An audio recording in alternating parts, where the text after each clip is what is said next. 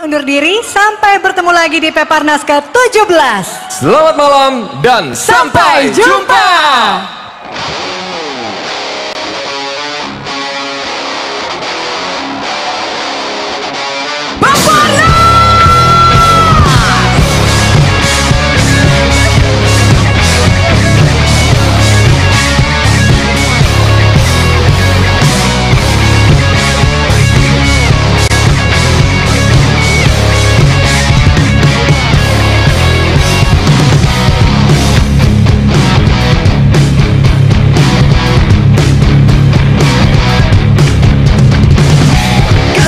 se apasa ya sentir